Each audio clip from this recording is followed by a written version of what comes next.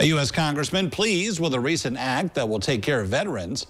Bob Latta says he's happy with the passage of the 2024 National Defense Authorization Act that was recently approved by the U.S. House. Latta says we need to bolster our national defense as well as increase troop pay. This would lead to better equipment for those who are serving our country while also ensuring that veterans and their families are taken care of after their service. People have to ask themselves, is the world safer or less safe than where we were, you know, a few years back? You look around the world, it's not, it's not that safe of a place out there. So we want to make sure that our warfighters have the equipment that they have to have to be able to do their mission. We want to make sure that, uh, you know, no one could ever say that they've got better equipment than we have because it's important that they have it. At the same time, we want to take care of our veterans. We want to take care of the, of the families of our, of not just uh, our veterans, but also our military personnel today.